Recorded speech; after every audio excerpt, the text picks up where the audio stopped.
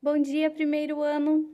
Nós estamos aqui hoje para trabalhar com o caderno de atividades. Então, como nós já terminamos a nossa apostila de literatura, né, apostila 2, nós vamos fazer uma revisão dos conteúdos que foram trabalhados e a resolução de alguns exercícios relacionados a esses conteúdos. Então, vocês podem acompanhar né, os esquemas que vocês encontram lá a partir da página 2 do caderno de atividades. Então, a primeira parte que nós vamos revisar é com relação à estrutura do texto poético. Então, pessoal, quando nós falamos de texto poético, nós precisamos respeitar algumas estruturas, e é isso que é, realmente nós acabamos trabalhando nas nossas aulas. Então, a primeira parte ali que a gente vai ver é o verso, né? Então, o que, que é um verso? É cada linha que compõe um poema. Assim como nós temos a estrofe, que seria o quê? Que seria um conjunto de, de versos. Além disso, né, do verso, da divisão, né, isso que torna um texto poético são as estruturas que, eles, que ele possui, né, que difere o texto poético, por exemplo, de um texto em prosa, nós temos também a rima. Né? O que, que vem a ser a rima? A rima é uma semelhança de sons. Essa semelhança ela pode acontecer ou acontece geralmente no final dos versos, mas ela também pode estar no meio ou é, em, outro, em, outro, em outro espaço ali. Né? Temos a parte da metrificação. Então, a metrificação, pessoal, também é importante. Por quê? Porque é a medida dos versos, né? E a gente faz essa medida contando as sílabas poéticas que um verso tem. Isso nós fazemos por meio da escansão, certo? Que é essa contagem de sílabas poéticas. Então, além da, da rima, além da estrofe, além do verso, nós temos também o ritmo, né? Que é o ritmo, ele, ele vem a ser o quê? O ritmo, ele é a organização, a alternância de sons fortes e de sons fracos dentro de um poema. Né? Então, por isso a importância da escansão. Quando você separa sílabas poéticas, que não é da mesma maneira que nós separamos a sílaba normal, a gente precisa contar até a última sílaba tônica, nós unimos quando nós temos uma palavra que termina em vogal e a outra começa em vogal, a gente une essas duas vogais. Então, tudo isso, pessoal, faz parte da escansão.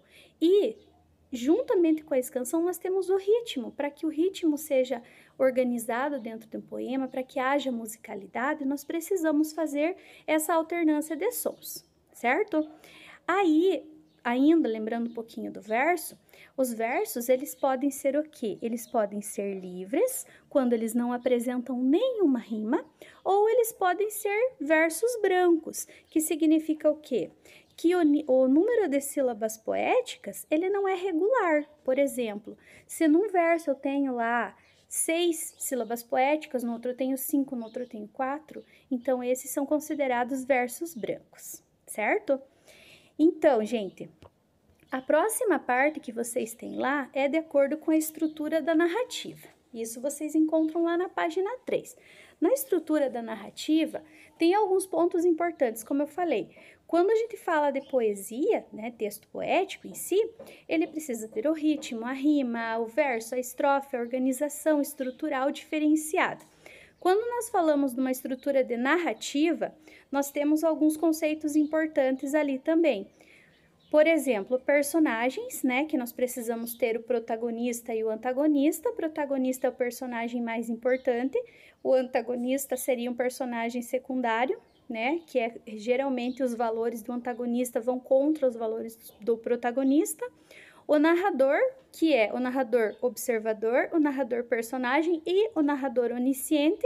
Lembrando que o onisciente é aquele que sabe tudo o que acontece dentro da narrativa, né? Ele é, ele é como se, se ele, ele soubesse todos os pensamentos, todas as ações, as emoções dos personagens em si.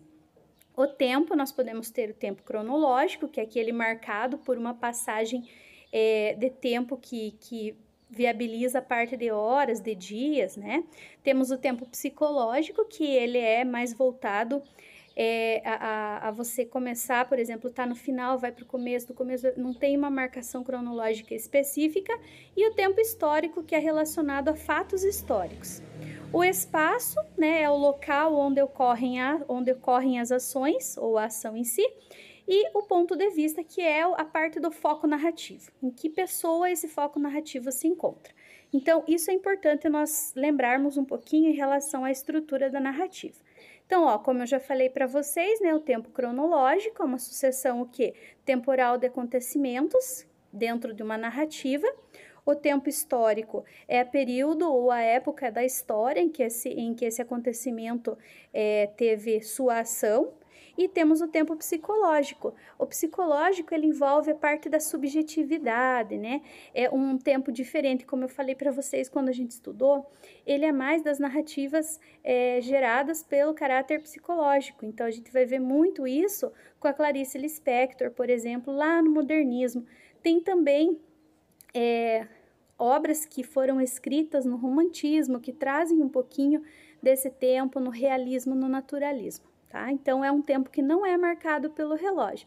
Quando nós lemos também um texto, não sei se vocês lembram, foi numa aula do Google Meet, nós fizemos a leitura daquele texto que a mulher estava levando a imagem, né, até a cidade natal dela. Então ali há uma, uma, uma organização dos dois tipos de tempo. Primeiro, tempo cronológico, que ele acaba sendo demarcado pela passagem, né, quando ela saiu da casa, o momento que ela foi, e também o tempo psicológico. Por quê? Porque no momento em que ela estava indo para sua cidade natal, ela acabou lembrando de vários acontecimentos que houveram na vida dela, e esses acontecimentos remeteram à infância, então aí a gente tem o tempo psicológico, certo? Gente, o ponto de vista é a parte do narrador em si. Então, o narrador, considerado observador, é sempre escrito em terceira pessoa. Ele observa e conta o que ele está vendo. O narrador personagem, ele sempre vai estar em primeira pessoa, porque é ele que observa e ele conta os seus fatos mesmo. E o narrador onisciente, que é o mais completo, como eu já falei para vocês, por quê? Porque ele explora o pensamento, os sentimentos dos personagens, certo? E além de tudo, né, ele também participa, ele, ele, ele participa de uma forma que ele conhece esse personagem a fundo, né? Então isso é interessante. Gente, a próxima parte ali também na página 3, nós temos as figuras de linguagem, né? Então, algumas figuras, por que, que foram escolhidas essas figuras para serem colocadas na apostila? Porque são figuras que vão aparecer nas produções literárias que vocês vão conhecer. Então, a paronomásia, né, que ela é, é, sons parecidos, né, dependendo do, da, da organização ali textual, vão ser sons que, que são parecidos à onomatopeia, que é a imitação de sons de animais e objetos inanimados, a hipérbole, que se traduz pelo exagero, a sinestesia, que é uma mistura de sensações ou elementos sensoriais, a antítese, que é o sentido contrário, né? Temos o paradoxo também, que são ideias que estabelecem é, contradição entre si, e temos a ironia, que é quando você quer expressar o contrário ou alguma coisa diferente daquilo que você quer comunicar, tá? Então, isso a gente viu também nas aulas anteriores. Vimos também um pouquinho sobre a intertextualidade, que seria o quê? Que seria essa, essa referência direta ou indireta a algum texto ou algum filme, ou alguma música, ou algum poema, né? E geralmente ele tem funções distintas, intenções distintas. Muitas vezes ele quer homenagear um texto, muitas vezes quer criticar, às vezes ironizar. Então vai depender muito de quem, é, qual é a função que a gente coloca. Inclusive, né, eu dei um trabalho para vocês, alguns entregaram, ficou bem organizadinho, vocês entenderam o que, que é intertextualidade, né, dos dois poemas dos meus oito anos, de Cassimiro de Abreu e de Oswaldo de Andrade, que são poemas que conversam entre si, que têm essa relação de intertextualidade, certo?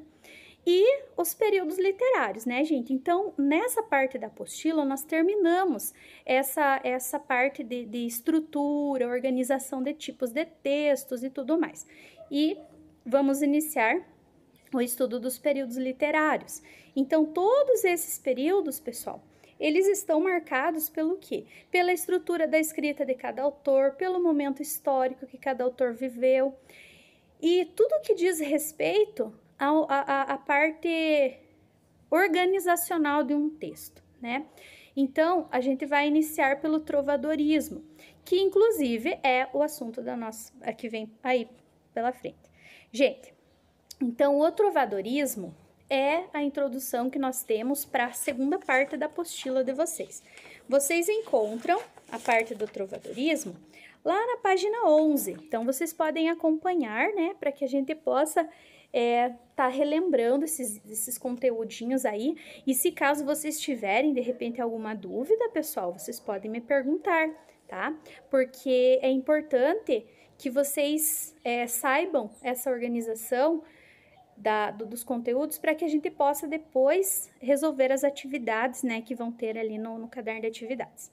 Pessoal, então, assim, a Idade Média foi, foi um momento bastante importante para a nossa literatura, né? Então, ela perdurou de qual século?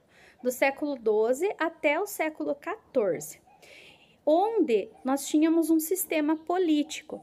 Esse sistema político era o feudalismo, que nós já conversamos bastante, né? Que existiam, é, as pessoas elas trabalhavam só para receber é, proteção e, e receber um, um, o alimento, né? Então, elas não tinham, assim, um, elas não agregavam valor ao trabalho delas, elas tinham que trabalhar, mas pra, em, troca disso, né? E eram lotes de terras que eram distribuídos, né? Então, toda aquela história que eu coloquei para vocês é importante, tá? É, outra coisa ali, gente, que também tem, vocês têm o papel predominante da Igreja Católica. Por que, que a Igreja naquela época ela era tão é, importante? Porque ela era a linguagem do povo, né? Então, todo mundo que participava das feiras que existiam e tudo mais, eles tinham é, uma crença, e essa era a crença daquela época. É, outra coisa importante que tinha ali eram as cruzadas, então nós vamos ver muito isso lá nas cantigas de amigo, né? Que eu falei para vocês que nas cantigas de amigo é, temos o eu lírico feminino que fala do seu amor, que é chamado de amigo, que partiu para a guerra. Então, naquela época, né, as cruzadas eram também um momento bastante importante. Outra coisa, pessoal, ó, esse item aqui, ó, teocentrismo e espiritualismo, Deus como centro do universo e o espiritual acima do material, acontecia naquele momento também. Gente, outra coisa, já comentei com vocês sobre os monges copistas, né, que eram as pessoas responsáveis por todas as obras literárias que eram produzidas naquele momento, na Idade Média. Então, os, os monges, eles eram os guardadores da arte, né? Então, a, a arte, geralmente, ela estava guardada nos mosteiros para que eles pudessem proteger. É, outra coisa também, gente, a cultura que era predominante era a cultura oral, por quê? Porque nós tínhamos depois os trovadores que a gente vai relembrar um pouquinho, né? E eles acabavam transmitindo as suas poesias, né? As suas trovas, as suas, as suas é, cantigas de forma oral. Os primeiros textos que eram produzidos naquela época, eles eram produzidos em galego-português, que é um português arcaico, um português diferente, né? É uma mistura do português e do espanhol. Então, por isso que para a gente pode ser um pouquinho mais é, difícil de fazer a leitura dos textos, mas quando nós trabalhamos, eu sempre pus a tradução para vocês verem é, a forma como eles eram produzidos. É, outro item, gente, bastante importante, que a gente consegue ver nas poesias líricas, é a parte da poesia medieval portuguesa. Então, nós temos o quê? Os trovadores, né? Que eles eram os poetas medievais e eles acabavam é, criando, né? Então, eles compunham uma trova, eles cantavam e eles tocavam ao mesmo tempo, né? Então, por que, que eles utilizavam da oralidade? Porque naquela época poucas pessoas tinham acesso à escrita, muitas eram analfabetas, então era uma forma mais fácil deles exporem esse sentimento e essa organização de poesia que eles tinham. Gente, então aqui, o que é importante nós sabermos sobre esse amor cortês? O amor cortês, ele é visto tanto na cantiga de amor quanto na cantiga de amigo. Então, nós temos ali, ó, as etapas da aproximação amorosa, né? Lembrando que na cantiga de amor, por exemplo, esse amor é inalcançável, é ina inatingível. Temos o eu lírico com voz masculina, quando é cantiga de amor. E temos também essa, essa forma, gente, esse amor, como eu falei para vocês, inalcançável, inacessível, esse amor, ele nunca vai ser correspondido. Por quê? Porque a dama ou ela vai ser casada ou ela vai ser ou ela vai ser de uma classe social diferente, ou seja, muito rica. Então, não é possível essa relação amorosa entre o eu lírico e a sua amada. Então, aqui lá na página 12, vocês têm as cantigas, né? Então, eu já falei para vocês um pouquinho sobre elas, mas aqui tá mais especificadinho. Nós temos as líricas e as satíricas. Então, as líricas, elas se dividem em cantigas de amor e de amigo. Lembrando que na cantiga de amor, o eu lírico é sempre masculino.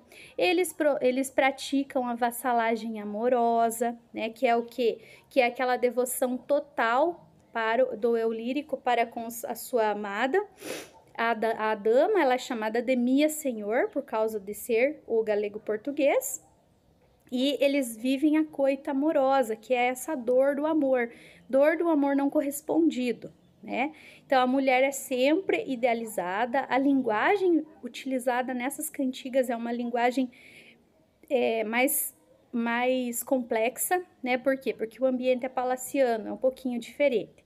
Já na cantiga de amigo, nós temos o que de diferente, gente? Nós temos um eu lírico, que é feminino, é geralmente uma mulher, né, de, do campo, que está escrevendo, entre aspas, não é a mulher que escreve, é o homem, né, também já entramos nesse, nesse assunto, né, o eu lírico sempre vai ser feminino, mas quem escreve é o homem, porque naquela época a mulher não tinha acesso à escrita, e é, é assim, essa mulher ela sofre, seu lírico sofre porque o seu amado foi para a guerra e ele, ela não sabe se ele vai voltar. Então aqui existe uma conversa com quem? Com os elementos da natureza, né?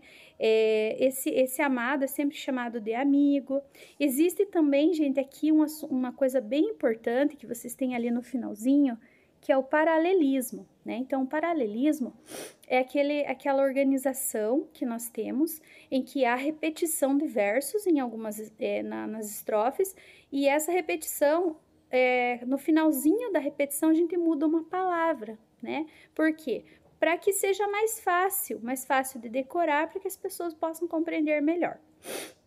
E nas cantigas satíricas, nós temos as de escárnio e de maldizer. As de escárnio, gente, é uma crítica mais indireta. Por que, que é uma crítica mais indireta? Porque ela não, ela não especifica quem é essa pessoa, né? Então, é, ela traz mais uma forma de ironia, de ambiguidade, mas o, o quem é criticado, no caso, não é revelado. E nas cantigas de maldizer é uma crítica direta. O que, que significa isso? Significa que ela tende à zombaria, à difamação, né? Então aqui eles expõem quem é essa pessoa, né? É, também é uma linguagem bastante grotesca, meio vulgar às vezes, e ela, tra ela traz é, é, o alvo dessa crítica, ele traz melancolia para quem é, recebe, né? Então é assim, gente é muito importante, é muito interessante, é o início, vamos dizer assim, das, dos escritos, né? Então a gente vai precisar identificar cada um. Quando vocês resolveram os exercícios lá nas nossas aulas, eu fiquei muito feliz porque a maioria conseguiu compreender essa diferença, né? Entre as líricas, as satíricas, de amor, de amigo, de escárnio e de maldizer. Então, gente, a próxima parte que nós temos ali e última é, é, são as novelas de cavalaria, que também é um conteúdo que eu já trabalhei, já passei para vocês, né? Então, lembrando que em Portugal não foram escritas novelas de cavalaria, mas elas foram traduzidas para o português. Então, geralmente, elas vão contar o quê? Vão contar as histórias dos cavaleiros, e esses cavaleiros eram medievais, e tudo isso envolvendo valores, né? E esses valores, eles são mesclados a histórias de amores, amores idealizados, amores realizados, né? E, e assim, gente, é bem interessante porque eles colocam como se todos os valores que eles possuem fossem o tempo inteiro colocados à prova. Né? Então, eu também comentei bastante sobre isso, inclusive vimos o resuminho da demanda do Santo Graal e Tristão e Isolda, que são histórias bem interessantes. Tem também a Amadis de Gaula, que, que, que eu coloquei ali como exemplo que vocês têm na apostila, certo? Então, gente, essa é a nossa revisãozinha, tá? É, eu gostaria muito que vocês me perguntassem, né, alguma coisa. Na próxima aula, nós vamos nos encontrar pelo Google Meet e então nós vamos fazer a resolução dos exercícios, certo? O que, que eu quero que vocês façam? Que vocês grifem, que vocês anotem, que vocês, né, façam assim uma revisão de vocês em relação a esse conteúdo, porque o esqueminha já tá aqui, não precisa fazer outro, tá bom? Então, gente, beijos até a próxima aula.